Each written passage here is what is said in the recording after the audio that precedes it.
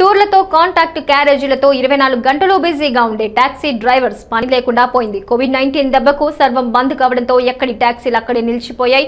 నిత్యం వాహనాలు నడుపుకుంటూ కుటుంబాలు పోషించుకునే డ్రైవర్లు టాక్సీల యజమానులు ఆర్థికంగా చితికిపోయే పరిస్థితులు తలెత్తాయి. లాక్డౌన్ ప్రారంభం నుంచి టూర్లు షికార్లు ఆగిపోయాయి. ప్రపంచవ్యాప్తంగా టూరిజం పూర్తిగా దెబ్బతింది. ఇక పక్క ఊరికి వెళ్ళే అవసరం ఉన్నవారు సైతం వైరస్కు భయపడి ఉన్న ప్రాంతం నుంచి కదలడం లేదు. రవాణా రంగాన్ని టూరిజాన్ని నమ్ముకుని ట్యాక్సీలు నడుపుకుంటున్న డ్రైవర్లు రోడ్డున పడ్డారు.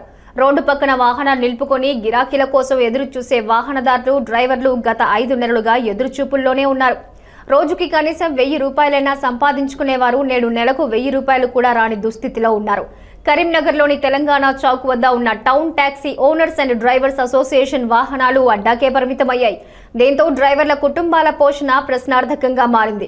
ప్రతిరోజు వాహనాలు తీసుకుని అడ్డాకు రావడం మళ్ళీ సాయంత్రం తిరిగి వెళ్ళిపోవటం తప్ప చేసేదేం లేదని వాపోతున్నారు. కేవలం వాహనాలు కడుక్కోవడమే తమ దినచర్యగా మారిందని ఆవేదన వ్యక్తం చేస్తున్నారు. ఇలాంటి కష్టకాలంలో ప్రభుత్వం తమను ఆదుకుని వెహికల్ ఇన్సూరెన్స్ ట్యాక్స్లు తగ్గించాలని విజ్ఞప్తి చేస్తున్నారు. గత ఐదారు నెలలుగా వాహనాలు నడవడం లేదని ఉపాధి కోల్పోవడంతో తీవ్ర ఇబ్బందులకు గురవుతున్నామని డ్రైవర్లు ఓనర్లు చెప్తున్నారు. ఫైనాన్స్ ఇంటి కిరాయి చెల్లింపు చేయలేకపోవటమే కాకుండా ఇంటికి సరుకులు సైతం కొనలేని పరిస్థితిలో ఉన్నామన్నారు. డీజిల్ ధరలు పెరగటం కూడా దీనికి ఒక కారణంగా మారిందన్నారు.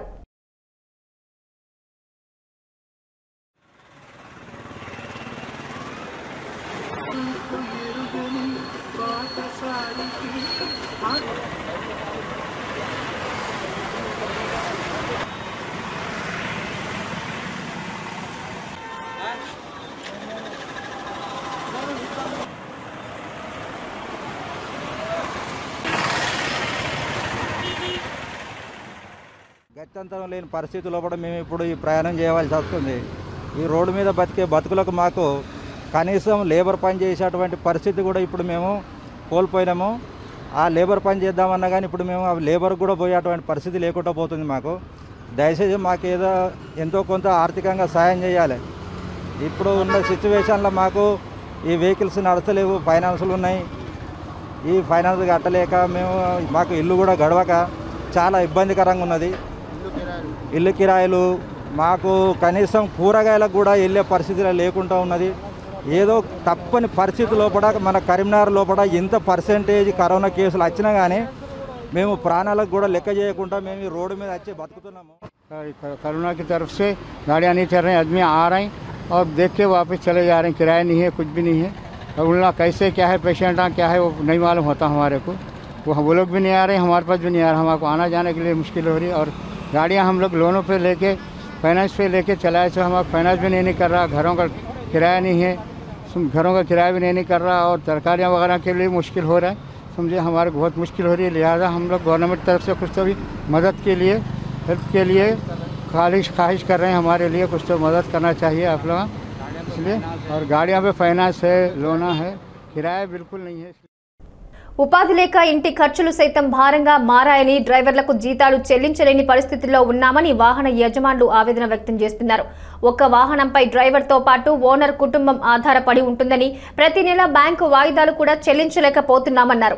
కొంతమంది డ్రైవర్లు కూరగాయలు అమ్ముకుంటూ ఉపాధి హామీ పనులకు వెళుతూ బ్రతుకు బండి లాగుతున్నారని తెలిపారు. ఆంధ్రప్రదేశ్లో టాక్సీ డ్రైవర్లకు పదివేల రూపాయల ఆర్థిక సాయం అందించారని తెలంగాణలో కూడా ఆర్థిక సాయం ఇవ్వాలని కోరారు. ఇబ్బంది ఏమైనా మాకు ఇప్పుడు ఇప్పుడు ఫైనాన్స్ వెళ్తలేదు ఇప్పుడు మా బతుకు మా ఇన్- మా ఇల్లు గడవాలి. ఇల్లు కిరాయిలు ఉన్నాయి. ట్యాక్సులు వస్తలేవు.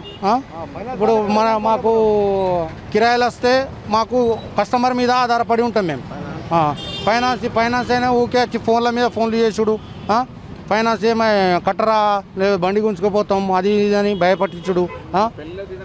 ఆ? సీజన్ ఎక్కడ సార్? పెళ్ళిలో ఒక్క పెళ్ళి అయితే కస్టమర్ ఒక్క కస్టమర్స్ వచ్చి మాకు బండ్లు తీసుకుపోతలేదు ఇప్పుడు ఇవిడూరు మీరు ఇంత ఇన్ని బండ్లు ఉన్నాయి మాకు సీజన్లో ఒక బండి కనబడదు ఇక్కడ మాకు.